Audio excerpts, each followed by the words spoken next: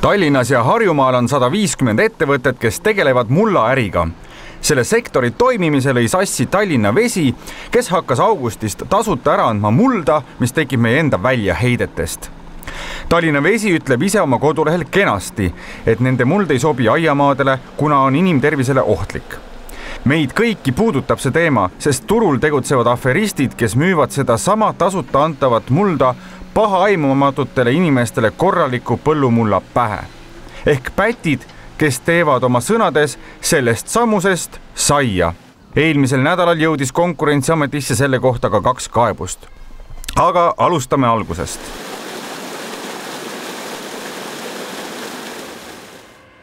kui te enne radari vaatamist käisite tualetis ning vett peale lasite, siis kogu see kraam jõuab siia Tallinnas Paljassaare tipus asuvasse Tallinna Vee reoveepuhastusjaama. pärast kolme puhastusetappi saab reoveest taas puhas vesi ning see suunatakse merre. tahkemast osast tehakse haljastusmulda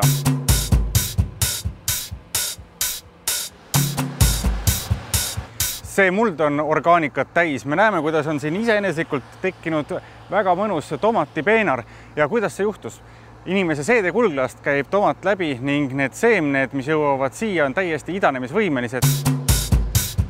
pealtnäha nagu muld vanaema õunapuuaiast, tegelikult tehtud meie enda väljaheidetest. kui eelnevatel aastatel nad küsisid mingigi raha selle eest, siis see, see aasta nad eh, piltlikult öeldes jagavad turul porgandit tasuta ja see on põhjus, mis on pea peale pööranud Eesti mullaäri, kuna Tallinna Vee muld võib ohustada inimese tervist.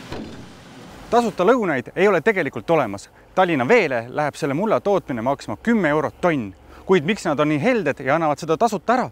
sellepärast, et nad suudavad seda setet toota kaheksakümmend tonni päevas ja seda pole me lihtsalt mitte kusagile ladustada no kui palju te päevas äh, saate kõnesid või emaile inimestelt, kes on siis äh, murest murtud, et äh, mida te nende aiamaale saadate? seda arvu oskab kindlasti klienditeenindus täpsemalt öelda, aga ma ise olen ka vastanud siin sellel perioodil näiteks siin kümnele kõnele. mis on need peamised kartused ja kas see on põhjendatud?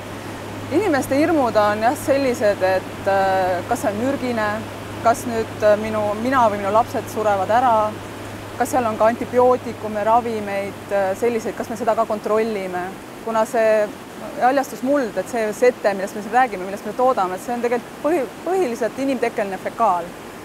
et kõik, mida inimesed endale sisse söövad, et see on ka seal koostises.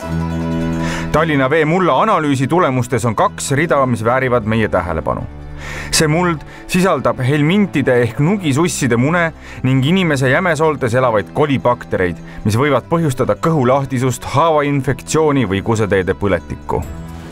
Need faktid ei peleta ka eemale kurikaelu, kes heausklikele inimestele Tallinna Vee reoveesetet õige mulla pähe müüvad Tallinna Veest käib mulda võtmas paarkümmend kuni sada autot päevas. kui lüüa internet või kuulutuste leht lahti, siis on näha, et mullapakkujaid on päris palju ainuüksi kuldses börsis on praegu Tallinna mullamüügi otsingule kuuskümmend viis vastet. enamus müüjatest on FIE-d või eraisikud sõidame praegu järel ühel veoautol, mis on täis mulda ja see tuli äh, sealt Paljassaarest äh, Tallinna Veest ja auto taga on ka telefoninumber olemas ja helistame ja uurime, kas äh, selle firma dispetšer ütleb, et nad kasutavad Tallinna veemulda või mitte. mis, mis muld teil on?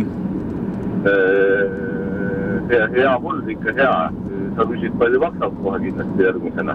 tegelikult ma tahtsin teada, et, et kas nagu saab noh, ühesõnaga saab kasutada nagu toidu kasutamiseks ka.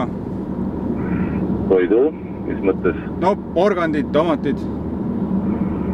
ma arvan, et ikka saab. selge. ja palju maksab? ma arvan, et kuskil siin sada nelikümmend eurot paneb hämmastama, aga mulla päritolust ei tule kordagi juttu. ajame asjad konkreetsemaks.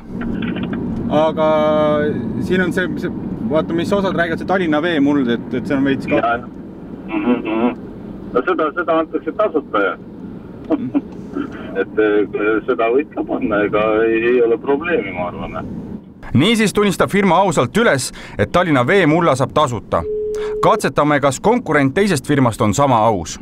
kuhu te viite ja mis kogusest jutt on? Äh, no Kakumäele ma ei oska öelda, selline noh, kuidas teil on need äh, hinnad seal, koorem või kant või kuidas? ikka koorem, eks, ega siis ka Tallinna veemulda ju praegu minu arust saab tasuta kätte, eks mm. -hmm. ja nelikümmend eurot on see vedu. ka teine firma, kelle otsa juhuslikult satume, on aus. koorem viiakse ühe mehe hoovi haljastuseks radar suhtles kokku ligi kahekümne firmaga ja kõik nad tunnistasid, et on turusolkijatest ja pättidest kuulnud. aga nemad ise on ausad mullaärimehed. eriti ettevaatlik soovitatakse olla eraisikutest mullaettevõtjatega. see on rohkem seotud eraisikutega, kes sõidavad mustalt autodega, et neil on väga lihtne, eks ole, kuskilt äh, bussipeatuse infoletilt võtta see number, helistada, küsida mulda, ütleb hinna, okei okay,, hind on soodne, sest see on ilmselgelt mustalt ja see tuuakse kohale, ta pärast avastab, et see on vale muld noh, kelle poole ta pöördub. kui keegi ostab auto ja see ei sõida, siis ta teab, et sai praaktoote ja viib selle poodi tagasi. meie loo puhul on väga loll olukord. inimene ei pruugi teada, et teda on petetud ning seda ei tee kindlaks muud moodi kui tagantjärgi mullaproovi võtmisega. kui seda mulda nüüd võtta ja nuusutada, siis absoluutselt mitte mingit inimtegevuse jälge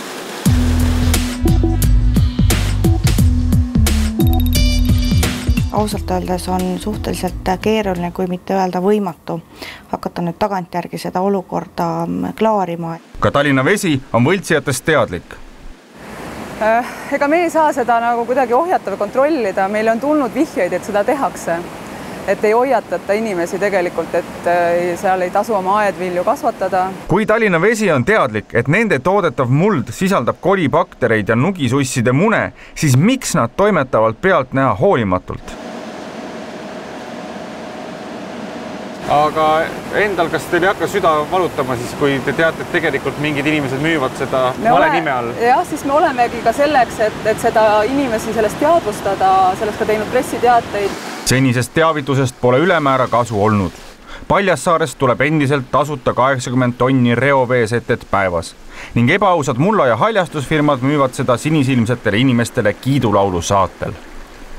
meie vaatenurgast tegelevad turu solkimisega ei, täiesti selge, et kui keegi on oma ärimudeli selle peale üles ehitanud, et ta tahab mulda müüa kasumlikult ja, ja kuskil on keegi, kes annab seda tasuta ära. aga selge on see, et meie jaoks on ta, ei ole ta põhitegevus, ta on meil see jääkprodukt, millest me peame lihtsalt äh, vabanema, kuna meil on, ei ole platsi lihtsalt nii palju, kuhu ta panna, meil tuleb teda kogu aeg juurde mulla ärimeestel on turu korrastamiseks, pättide likvideerimiseks ja inimese tervise eest hoolitsemiseks väga lihtne ettepanek. ma arvan, et tegelikult oleks lahendus võib-olla tõesti see, et kui Tallinna Vesi paneks võib-olla mingi teatud mulla hinna sinna juurde ikkagi, et päris tasuta ära ei annaks, et siis kaoks see ahvatlus võib-olla ära. tegelikult see autojuhile, kui ta müüb selle nii-öelda tavalise põllumulla pähe, siis tal ju tegelikult võit on päris suur, eks ole, sealt saab ta tasuta, aga kliendi käest võtab kuus eurot tonni eest. noh, see on üheksakümmend eurot põhimõtteliselt